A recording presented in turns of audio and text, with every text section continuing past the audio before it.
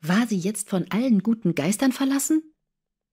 Sie hatte ihn doch überhaupt nicht attraktiv gefunden. Zumindest nicht besonders. Oder doch? Sie sah seine Augen vor sich und seine Hände, und als sie am Abend den Sender verließ, kramte sie in ihrer Tasche nach seiner Visitenkarte.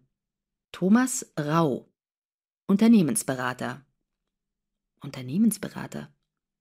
Für sie waren das Leute, die keinen wirklichen Beruf hatten. Man ging doch nicht einfach zu einem Unternehmen hin und sagte, so, jetzt berate ich Sie mal. Entlass ein paar Leute, dann hast du mehr Gewinn.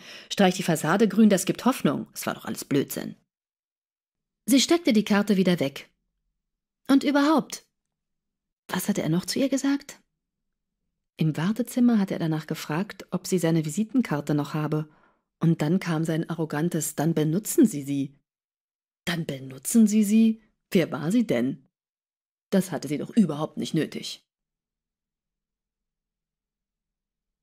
Es war schon ungewöhnlich, mit ihrer 14-jährigen Tochter und deren Liebhaber am Frühstückstisch zu sitzen.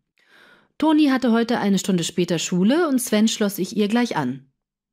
Ob er schwänzte oder nicht, so genau wollte sie es gar nicht wissen. Eva hatte ein paar Aufbackbrötchen in den Backofen geschoben und schnell den Frühstückstisch gedeckt. Sie hoffte, Caro noch auf ein Wort zu erwischen, aber sie war schon leise verschwunden, und so blieb Eva mit ihren Gedanken allein. Es brannte ihr auf der Seele, was mit ihrer großen Tochter los war. Sie hatte verheult ausgesehen, als sie gestern nach Hause gekommen war. Eine Weile plätscherte das Gespräch so dahin, aber dann hielt es Eva nicht mehr aus. Weißt du wirklich nicht, was mit Caro los ist? bohrte sie nach, als sie Tonis Blick auf die Uhr bemerkte, gleich würden die beiden aufbrechen. Sie glaubt, dass ihr Typ fremd geht. Aber sie ist neurotisch und außerdem hat sie keine Ahnung von Männern. Sie macht alles falsch. Toni stand entschieden auf und Eva stellte ihre Kaffeetasse ab. Sie macht alles falsch? wiederholte sie ungläubig. Ja, das hat sie von dir, sagte Toni und klopfte vor Svens Augen kurz auf ihre Armbanduhr. Wir müssen los. Und damit waren die beiden weg, bretterten mit Svens Roller los und Eva stand allein vor dem Küchentisch. Sie setzte sich wieder, trank ihren Kaffee aus und fragte sich, wo Flash war, als das Telefon klingelte. Guten Morgen, ich wollte nur mal hören, wie es dir geht. Schon der Ton ihrer Mutter verriet, dass es eine Spitze war. Ach, danke, gut. Ist viel los. Und du, wie geht's dir? Danke der Nachfrage. Das war klar.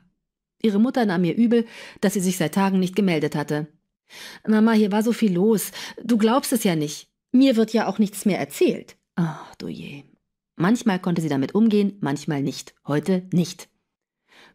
Da musst du einfach mal wieder herkommen und das alles selbst erleben. Wir haben jetzt einen Hund, stell dir vor. Ach du meine Güte, er wird den Boden ruinieren, scharfe Hundekrallen auf Parkett, aber du wolltest ja unbedingt Holzböden, ich hätte ja Teppichböden. Eva unterbrach sie. Ja, ja, Mama, ich weiß. Freu dich lieber mit uns, dass wir einen Hund haben. Also mir wäre das zu viel. Ich komme ja so kaum nach. Die Tochter von Frau Dr. König. Mama, Frau König hat keinen Doktortitel und ihre Tochter ist eine gut versorgte Witwe ohne Anhang. Die hat Zeit. Ja, Eva ahnte, dass jetzt die Platte von ihren verpassten Chancen kommen würde. Sie musste das Gespräch irgendwie freundlich beenden. Nimm dir doch eine zu, Gehfrau.